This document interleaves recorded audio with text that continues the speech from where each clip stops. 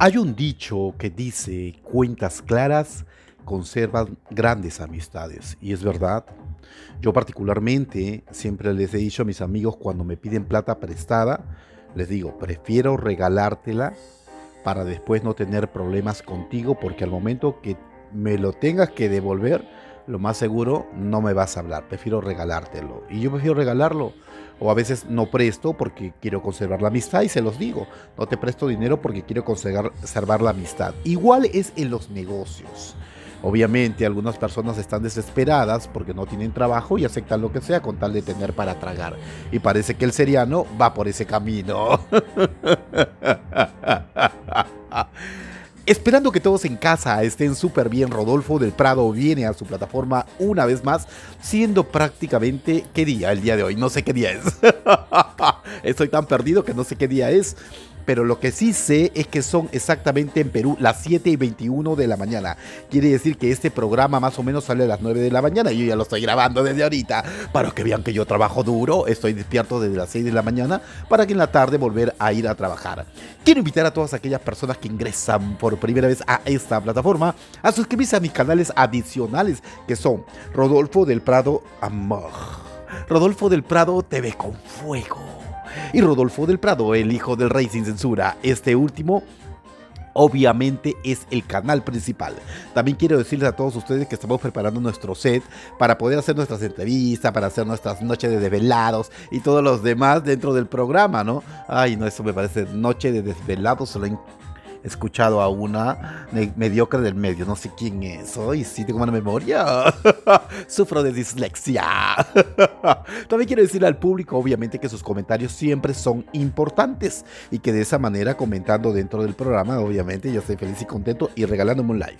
Viéndome los comerciales, apoyas el trabajo que yo hago dentro del canal. El día de hoy hablaremos, por supuesto, de cuánto es lo que supuestamente percibe el seriano, el marciano, dentro de la programación de Azteca Televisión a raíz del contrato que firmó la pilliza, según lo que dice las malas lenguas. Pero también quiero decirle algo al público, que cualquier donativo que quieran hacer lo pueden hacer por medio de mi PayPal. Al margen de eso, también quiero decirles algo y este, quiero que quede claro.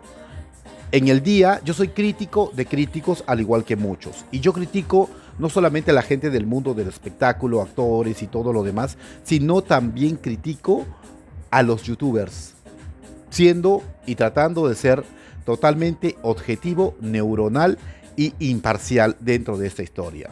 Hay gente que me escribe dentro del programa y de una u otra manera quieren ser mis productores y yo no los he contratado para eso.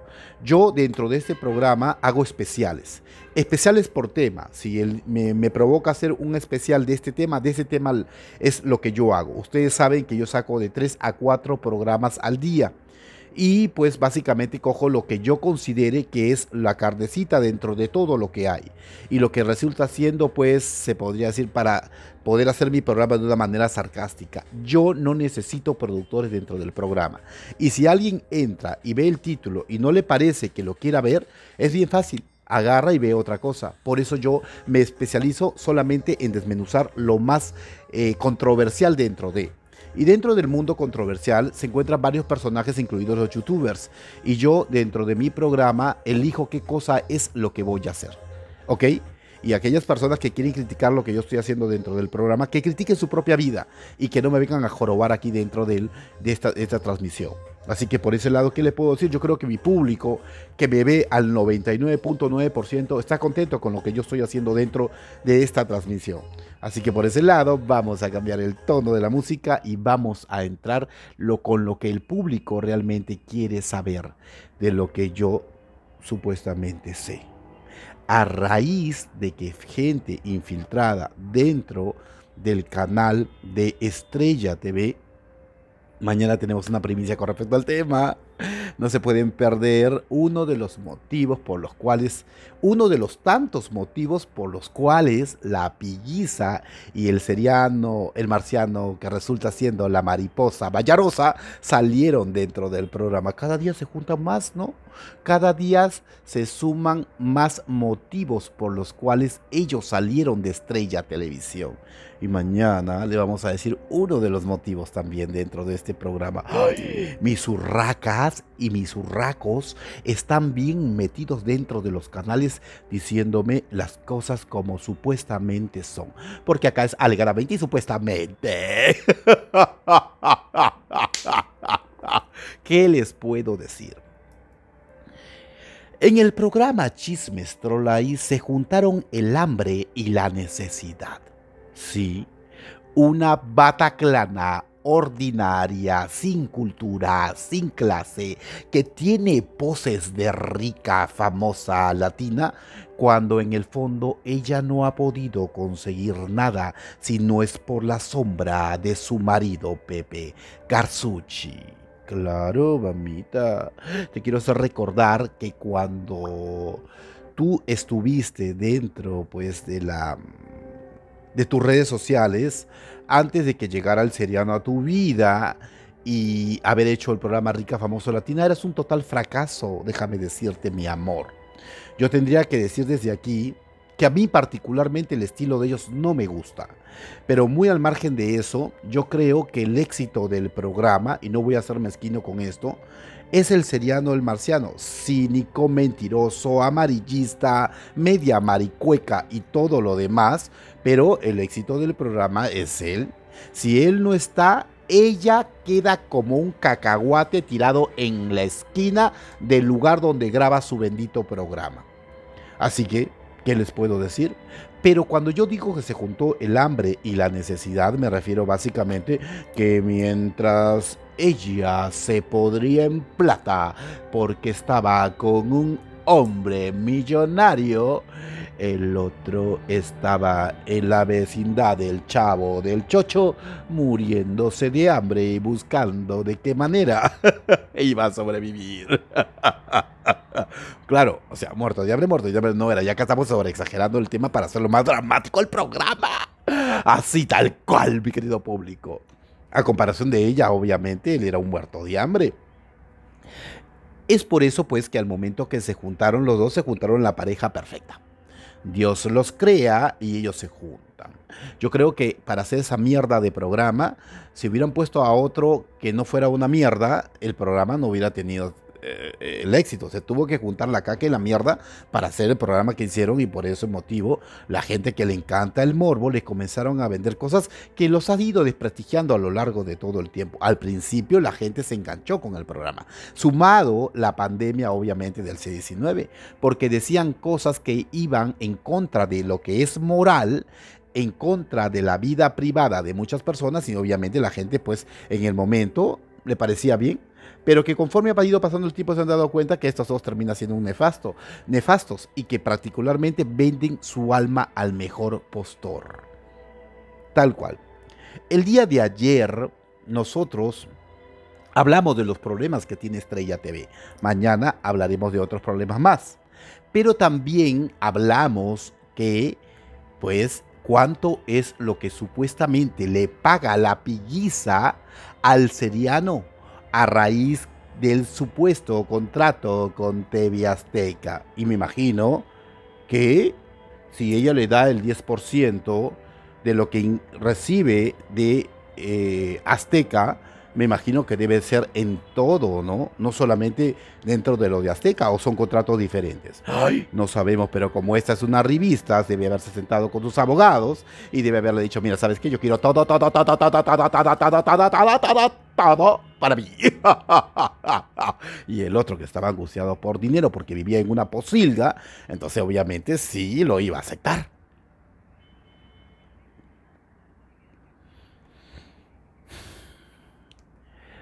Hay que estar bien desesperado para aceptar algo solamente con el 10%. Como lo dije el día de ayer, cuando uno sabe lo que vale, uno negocia. Uno agarra y le dice, mira, ¿sabes una cosa? Yo tengo todo un... ¿Acaso tu historial no vale, seriano? Te pregunto. ¿Acaso el historial que tú has hecho durante toda tu vida no tiene valor? Es lo que nos comenzamos a preguntar aquí, ¿no? ¿Tiene valor o no tiene valor? Porque obviamente, pues, tiene que tener algún tipo de valor. ¿O no? Si yo fuera un hombre con la experiencia que tiene él dentro del medio, y si me acerca alguien y me dice, ¿sabes qué? Te quiero proponer esto. Obviamente yo lo aceptaría. Ellos en algún momento creo que en el programa han dicho que son como una especie de socios, ¿no? ¿Será cierto? No lo sabemos. Pero hablemos de Azteca, que es lo que nos interesa. Según lo que dice la malas lenguas y lo que se rumorea dentro de los pasillos de la televisora. Dentro de los pasillos de la televisora se rumorea que ella, pues, le da el 10% de los ingresos que recibe de esa televisora. El público se preguntará cuánto es lo que les paga Azteca a la disquete y bolera. Pero si la información es fidedigna y es verdad, lo que me acaban de comentar, dicen que por cada programa emitido dentro de, le dan 5 mil dólares. 5 mil dólares por programa emitido dentro de Estrella, no, de Estrella no, de Amas, dueño Azteca obviamente. Entonces, si comenzamos a sacarlo en pesos, son como 100 eh, mil pesos mexicanos más o menos, ¿no? O 100 mil, o 100, sí, 100 mil pesos mexicanos, si no me equivoco, ¿no? Si lo sacamos a pesos, pero si lo pasamos a dólares, suma algo de 5 mil dólares por día. Pero recordemos que ellos no salen de lunes a domingo. Ellos salen solamente los días hábiles. ¿Cuáles son los días hábiles? Lunes, martes, miércoles, jueves y viernes. Si multiplicamos, por ejemplo, este mes que tiene 30 días, si no me equivoco, entonces pues estamos hablando que la piguiza recibe 125 mil dólares al mes. 125 mil dólares al mes. ¡Ay! Dios mío, es un platal. Quiere decir que si ella tiene un año dentro de Azteca, ella recibiría más de un millón de dólares, ¿no? Claro, porque si recibe 125 mil dólares dentro de los días hábiles que se transmite el programa, esa es la cantidad que debe recibir. Quiere decir que entonces el seriano recibe el 10% de esos 125 mil dólares, que sería al final cuánto en dinero. Hablamos que el seriano recibiría cada mes el 10%, que sería 12 mil 500 dólares mensuales.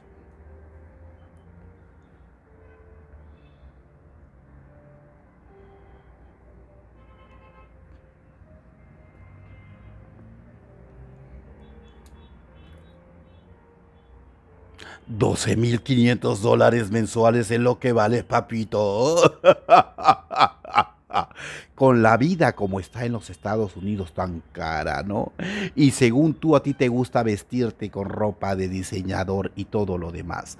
¿Recuerdan la vez pasada que ellos hicieron una teletón o un evento para, para ayudar a un niño? La pregunta del millón de dólares es, cada uno de ellos se comprometió con ese niño si no me equivoco, en entregarle mil dólares.